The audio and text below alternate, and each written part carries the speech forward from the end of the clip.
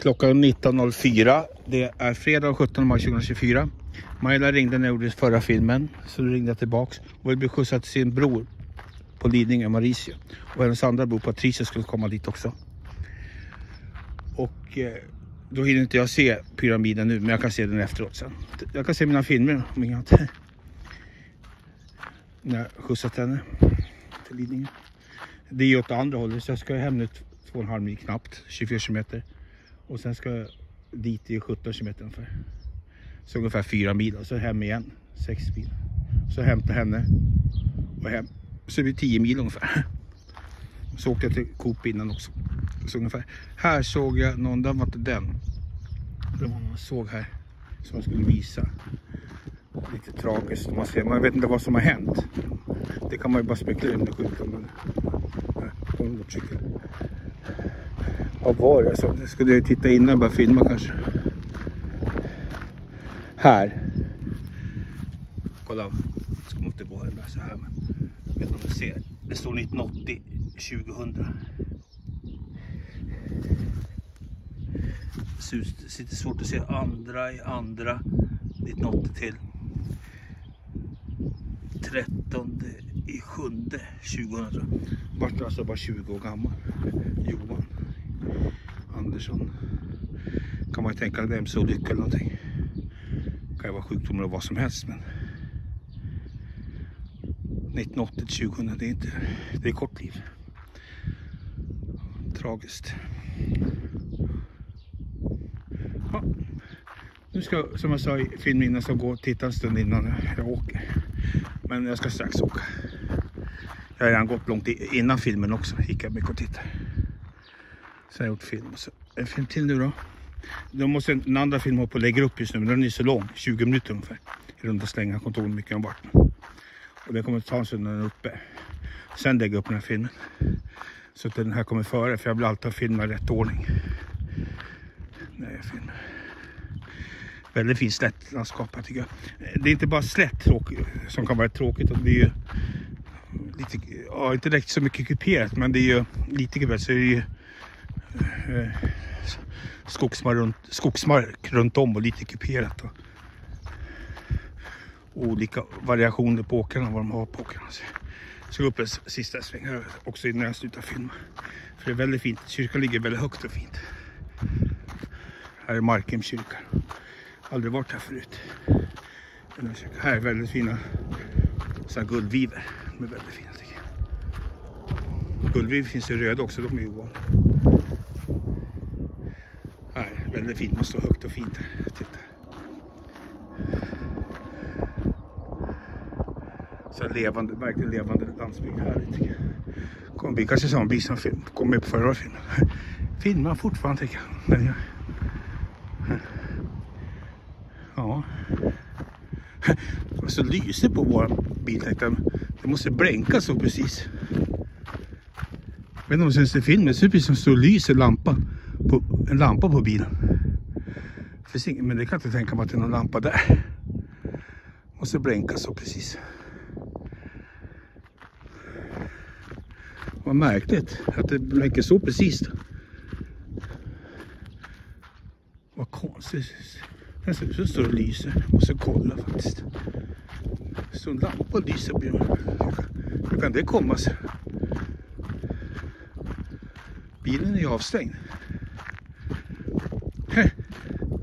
Det var märkligt. Men om man blänker borde jag inte komma. Ja, nu slutar det. På lång tid. Jag gick länge och fortsatte blänka. Där borta har man på med vårbruk långt bort. Stora grejer. Ja. ja, får gå upp här igen då. För jag vill, jag vill gå utan kamera och filosofera lite. Jag tycker om att göra det. Men det är kul att gå så här med kameran brett också. Men när man går själv då är man helt tyst och tänker lite. Så. Man har bara sina egna fotsteg och så stannar man till ibland.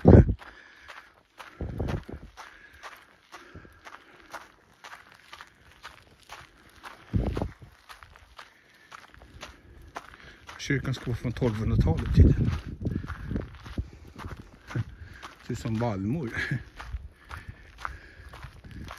Jag vet inte om det var kanske till på mig. Ja, jag tror det till på mig. Här är också en gammal utgång.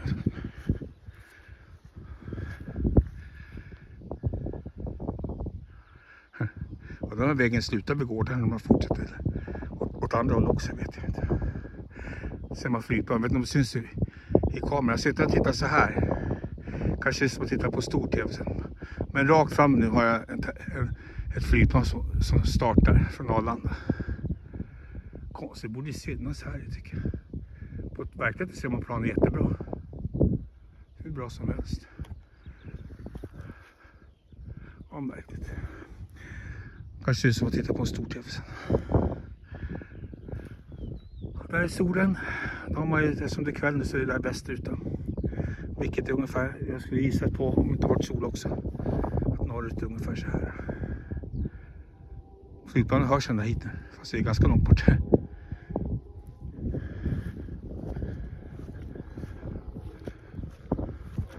Ja. Så det är solen från vänster på bilen som lyser så att det blinkar. Nu susar det igen. Så det precis som lyser. Efter sätta bilen häromdagen. Häromkvällen. Förrgår kväll på plock då. I Täby. Här finns som en bok. Så.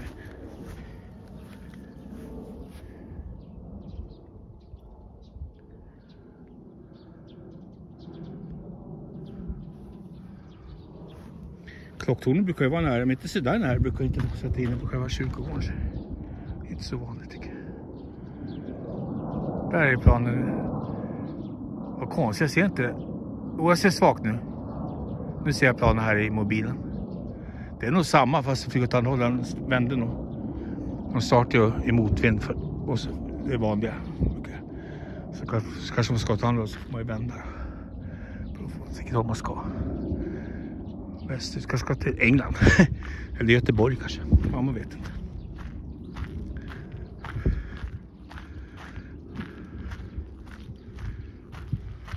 Hon när jag var ung så hade motorcykel, det var häftigt ljud. Det var jag hade många cyklar, en del med raka rörelser. Och så sko skojade med kompis. Jag tänkte om det skulle låta sig där när det kom istället. Alltså som ett flygplan. Tänkte om det skulle inte vara så värst. Men det är klart att skulle det vara sån kraft i också. Jag såg faktiskt en som hade en motorcykel med jetmotor. Som åkte lite så race med den. Kort och sagt, det var det gått jättemycket kraft eftersom det var ingen fäste i, i själva hjulen utan skjuter iväg. Men den stack iväg bara. Så frågade om jag inte är rädd när den kör den här. Jo, jag är livrädd så. Fast han är, jag älskar jetmotorer så. Så han tyckte om att bygga sen. Var med som häftiga byggen. kommer inte ihåg hur starka det hur fort det gick sen, men det gick. Det var ju kort, en kort bit jag körde också. Men det var snart uppe i några hundra. Eh, på tal det så berättade för Alexander igår. Så frågade jag hur fort eh, min kompis kanonsmotorcykel som är 30 år gammal gör. Den är ungefär 30 år då. Lite drygt tror jag. Ja, 180 sa Alexander. 272 så. 272 så mycket, ja. 135 hästar så. Vad är det för 100 000? Ja, det är nästan lika så, som en dagens sånt hus. Ja, den är lite värre ändå. Så de är väl lite över 200. Så kolla han fanns lite olika nya 214, 215 hästar. Men det är ungefär samma, det kan vara lite detaljer så. Och sån som är 215 hästar. Den axlar 0 till 200 på ungefär 7 sekunder. Och den, och den når det på 200 meter. Så 0 till 200 meter på ungefär 7 sekunder och då har den 200. Men eh, jag vet att som hade en MV Augusta, den var 164 hästar Och den var inte mycket, nästan lika snabb upp till 200. Den var alltså 0 till 100 på 7 och 4. Nästan lika bra för att ha så mycket kläder. Men eh, den gjorde 300, det var problem efter 280 bara för den ganska sega. Men sen Honda den gör ju också 300. Den är just, den är ju spärrad där. 299 300. Ibland kan gå dit över 300. strax över 300. Men den går ju lätt dit till 300. Liksom. Min Gussi jag hade den var i runda slänga 100 hästar. Och den var inte så mycket långsammare. Till, till, den kanske axlade till 200 på runt 11 sekunder. Men alltså, sen gjorde inte den så mycket mer. Den gjorde ju, om man skulle varva så gjorde den 210 ungefär. Så det gjorde att det vart så lågt växlad för den effekten. Alltså det var inte original utan jag tog upp den.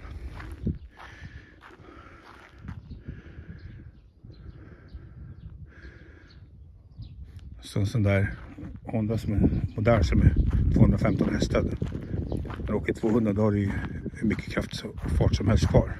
Som helst. Du kan ju åka så det om du vill. På en stor väg. Det kunde man inte med gussen. Det var väldigt plågsamt.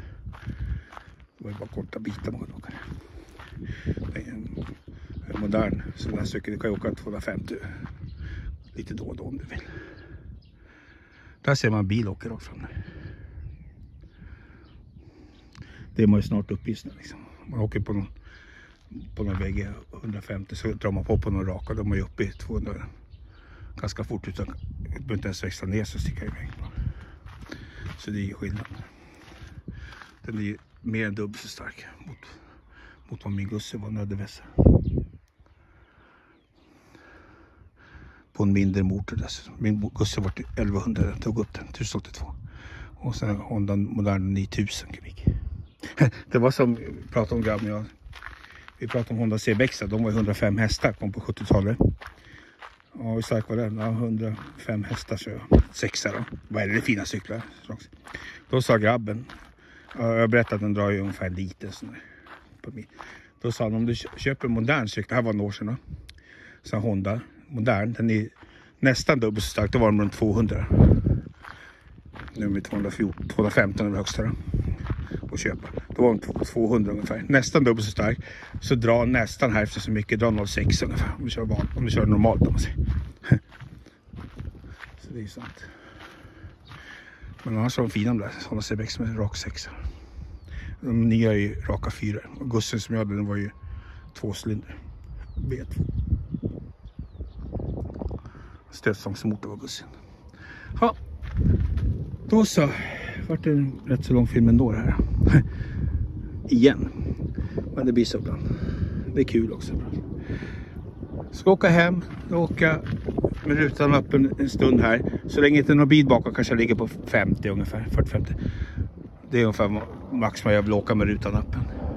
Kanske jag öppnar den andra rutan också, jag gör det ibland, beror på vad som känns lagom. Sen kommer vi till högre fart sen, då får man ju stänga rutorna. Det är skönt med AC, men det är mysigt att åka med rutorna tycker jag. Och sen eh, eh, kommer någon bil bakom och vill öka farten lite. Man, man vill inte åka 40 liksom, en bil bakom.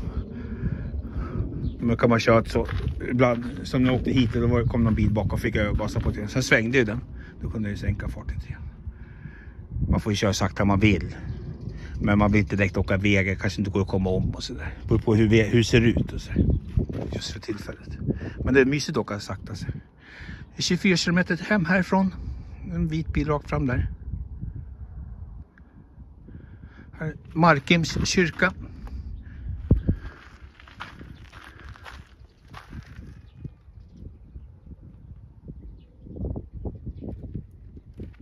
Trevlig helg, hej då.